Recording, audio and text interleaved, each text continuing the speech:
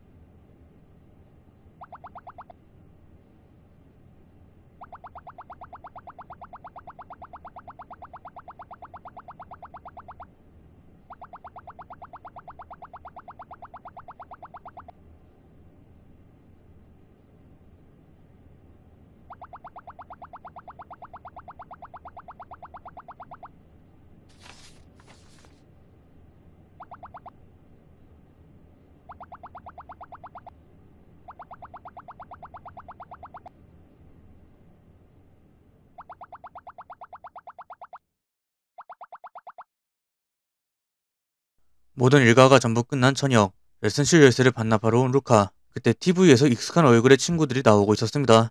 하나가 메인으로 매번 게스트를 불러서 이야기하며 즐겁게 대화하는 방송 스즈키의 방 당연 TV 방송은 아니고 내 녹화 방송으로 지금은 TV로 송출하며 보고 있던 것 이번이 첫 방송이며 매격조 방송이다라는 TMI를 이야기하지만 1mm도 관심이 없는 루카 面白いねえ でも鈴木の部屋これで大丈夫なのかな？ん？なんだかただただいつもの会話をしてるだけだなって。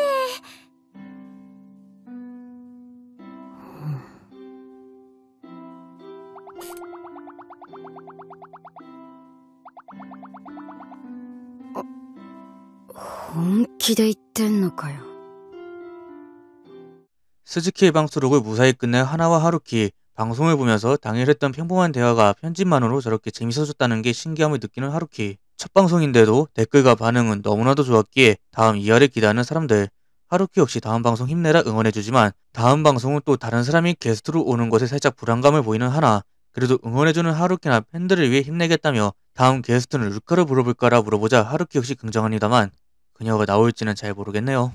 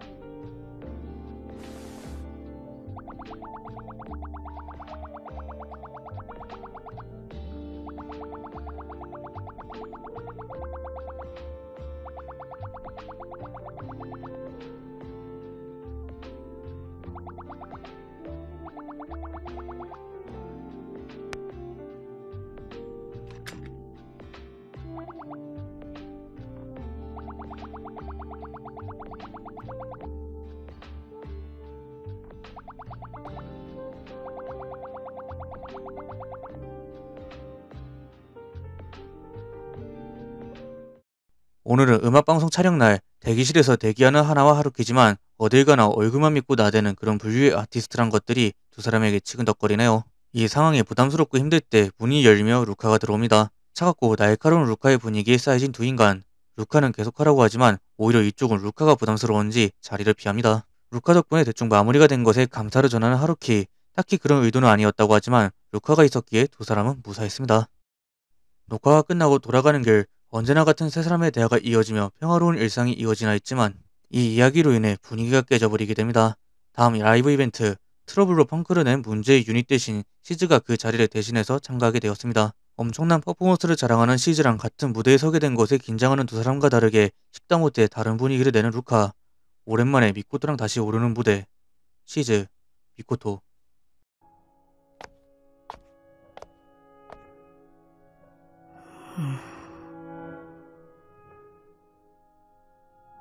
ふざけんな。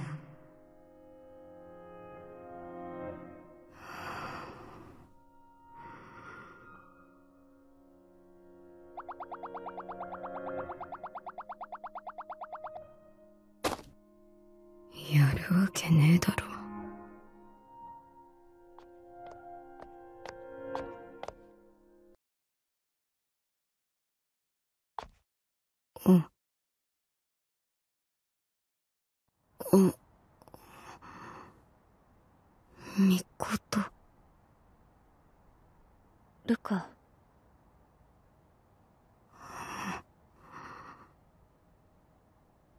しくね。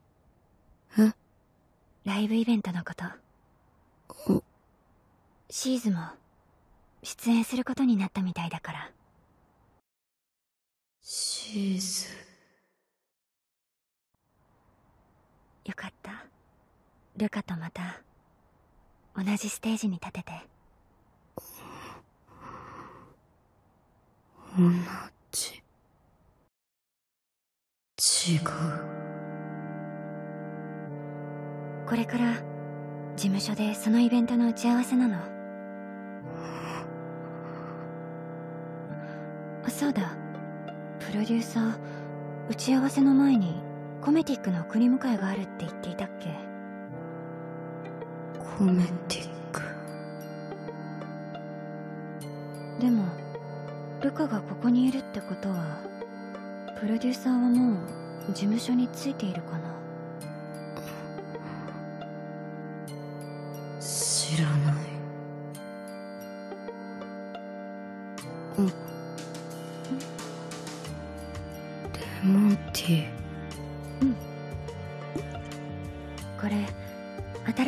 発売されたものみたい。ルカは飲んだことある？違う。そんなみこと知らない。そう。そっか。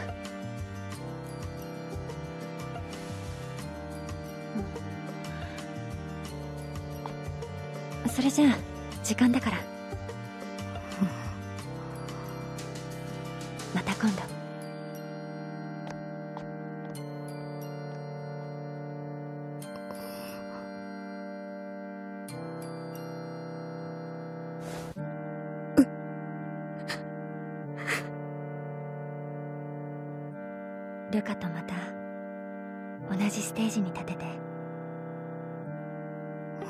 じステージってこんなの違う。みことは何とも思わない。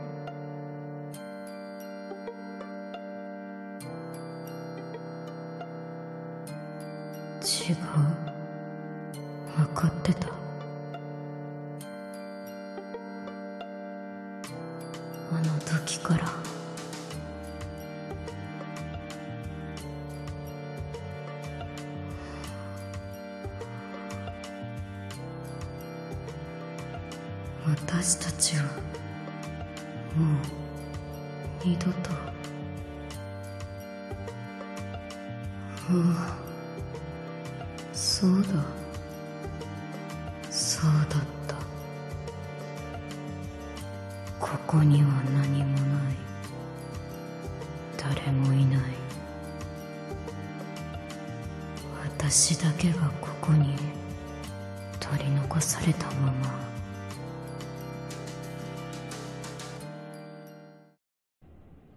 だるい体動かない。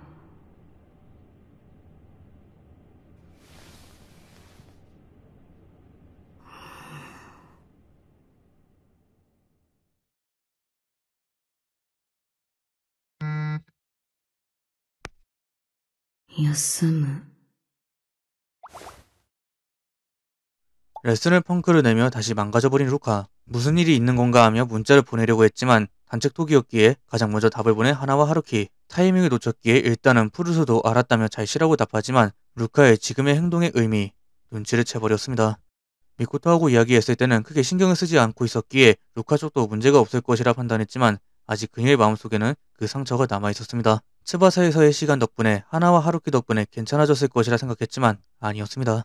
그때 걸려오는 하루키의 전화. プロデューサーさん急にすみません今お時間大丈夫でしょうかいえ何かというよりはあルカちゃんのことで 私昨日からずっと何かできることはないか考えてたんです。ルカちゃんに。でも思いつかなくって。どうしたらいいのかな。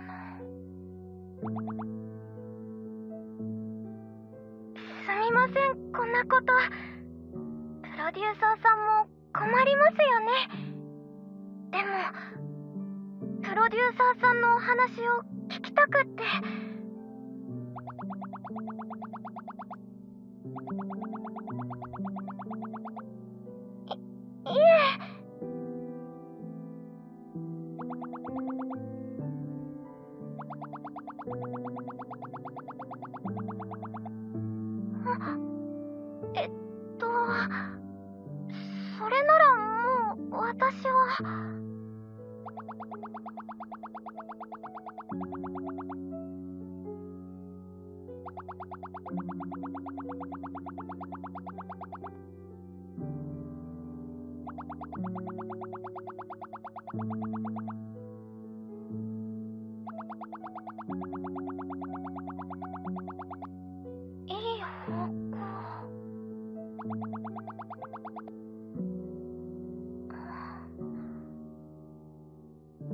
かりました。私ルカちゃんのこともですけどプロデューサーさんのことも信じてますから。あの私今日のレッスン頑張りますね。お時間いただいてありがとうございました。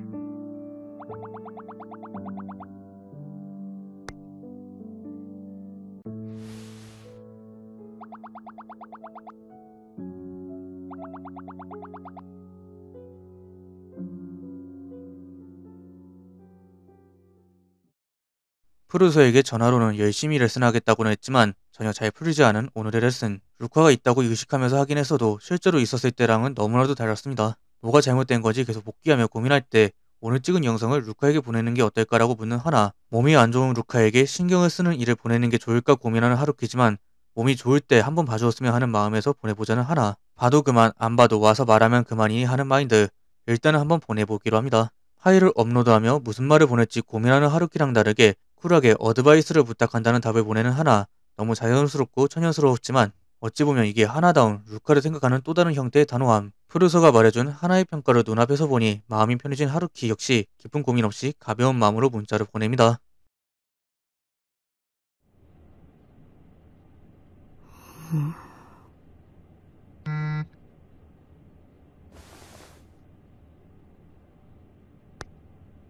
アドバイスがあったら お願いします。よろしくお願いします。お大事に。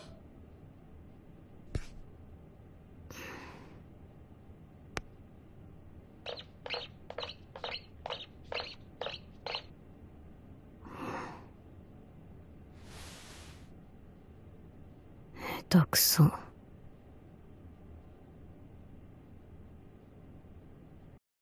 다행히 방황은 오래가지 않았는지 다시 사무실로 나온 루카와 그런 루카를 반겨주는 하나.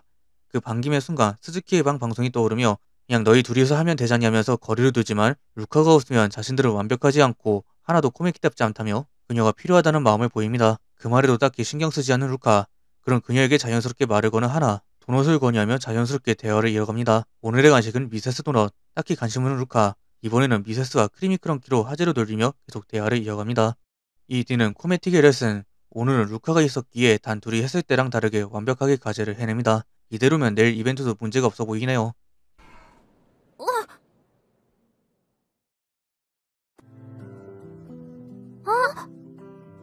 음.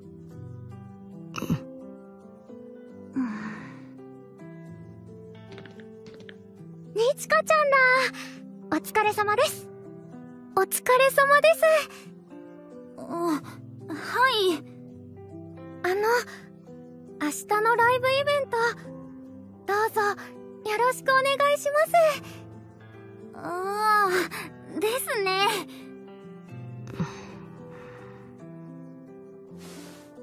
そのレモンティー美味しいですか？新しいやつだよねはい、もう。そうなんだ。私も買ってみようかな。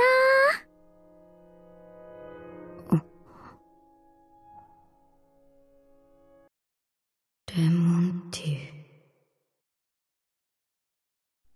시간을 흘러 이벤트 당일 대기실에 들어서자 하나와 하루키가 반겨주지만 한 명이 없었습니다. 루카는 같이 안 온 거냐 물어보는 하나, 프로듀서는 먼저 와 있는 줄 알았다고 말하자 그의 마음속에 다시 불안의 불이 피어오르기 시작합니다. 일단 리허설은 루카가 있다는 가정에서 진행하라 말하지만 불안해하는 두 사람, 분명 괜찮을 것이라 안심을 주며 루카에게 연락을 하기 위해 대기실에서 나온 프로듀서, 당연하게도 연락은 받지 않았습니다. 펑크 이후 다시 제대로 레슨을 받았기에 괜찮아진 건가 생각했지만 역시 아닌가 하며 자신의 실수로 인해 불안감에 사로잡히는 프로듀서 일단 루카의 집에 갈까 생각할 때 미코토가 말을 걸어옵니다. 레몬티 시즈 미타크네 음. そうだ。ステージに立たなきゃいい。それだけの話。そうすればこの時間は止まったまま動かない。なのに、なんでそんなに必死に練習して、練習して。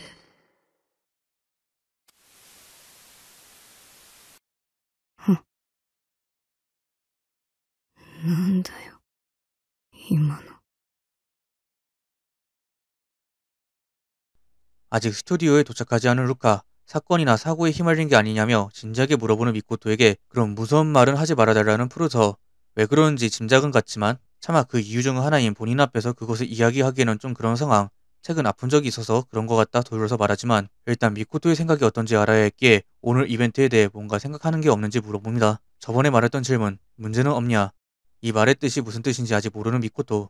시즈와 코메틱에 대해서라고 루카랑은 이전과는 다른 방식으로 무대에 오르게 되었으니 뭔가 어색하다거나 아님 따로 무언가 각오가 있는지의 뜻으로 물어봅니다. 잘 모르겠다는 미코토. 하지만 그녀에게는 무대에 선다라는 확실한 선택지가 있기에 그 한결같은 마음을 전합니다. 그 마음은 분명 루카도 똑같을 것이라고 사건이나 사고가 아닌 이상 스테이지에 차질이 빚는 건 그녀 역시 바라지 않을 것이라며 생각하고 있었습니다. 미코토가 생각하고 있는 루카의 모습 그리고 그녀를 믿고 있다는 것을 알 수 있는 부분 미코토 입장에서는 언제나 같은 말 언제나 보고 있던 그녀의 모습이 이런 모습이었군요. 미코토가 루카를 믿는 것처럼 푸르소도 믿어보겠다며 그녀의 집으로 향합니다.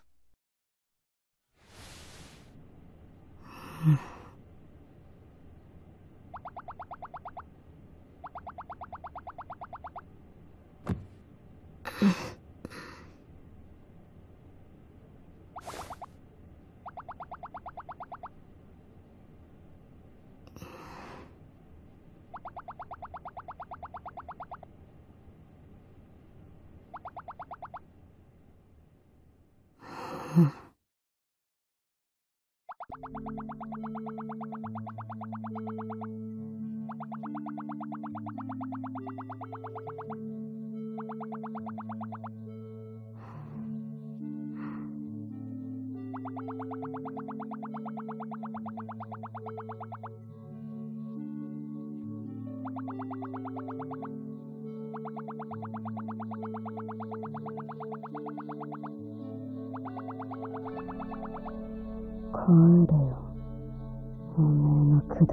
話とか、聞きたくねえ。もういいだろ。何回やったって、同じ。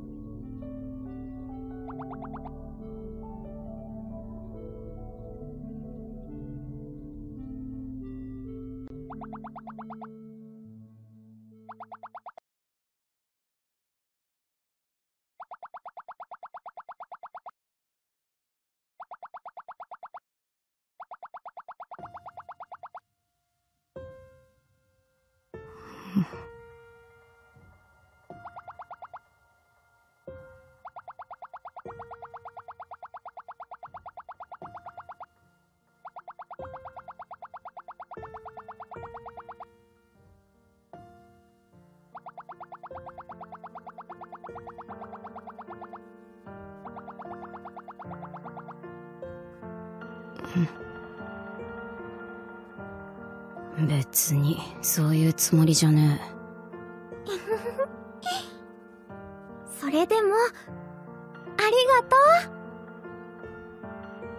私たち、ルカちゃんがいないとダメなんだ。全然コメディックじゃないの。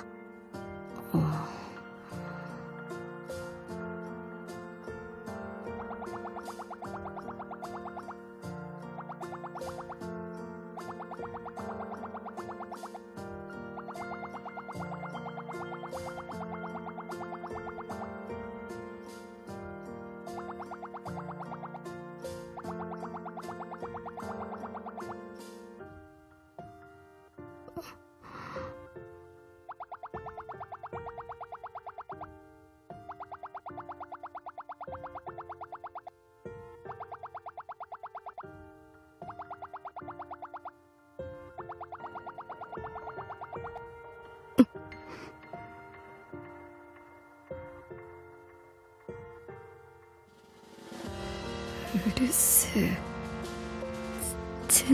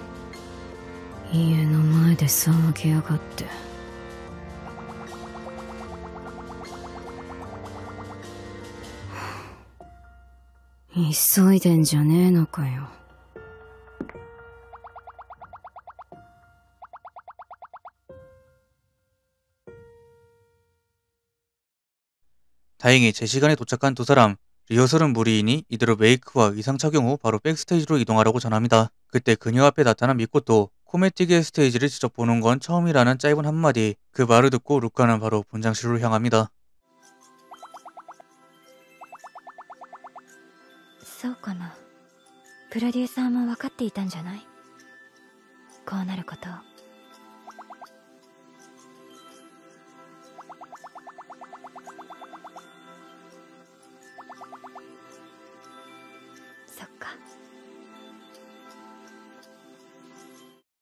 준비를 마치고 백스테이지에 도착한 루카를 맞이해주는 두 사람. 늦었다는 짧은 말이지만 어쩌면 그녀가 처음으로 그녀들에게 진지하게 말하는 한마디.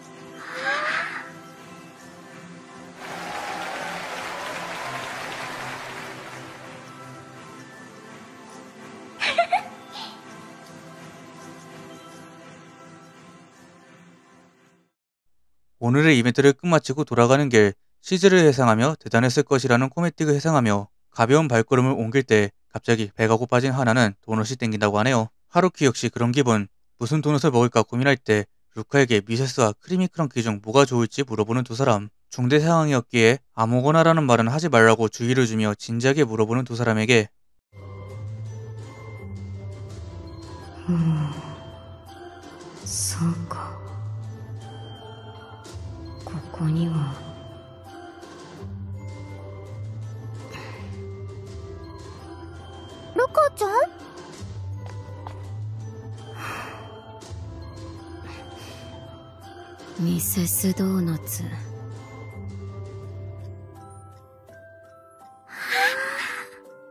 じゃあミセスドーナツで決まりだね。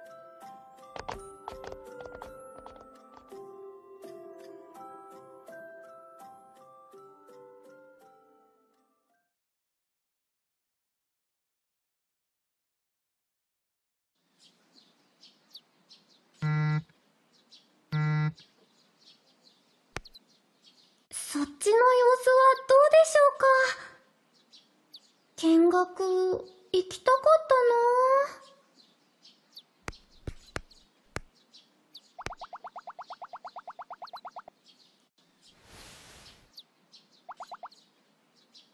な。うーんなんだよ。ルカちゃんが来てくれて嬉しいなーって思ってるの。まあ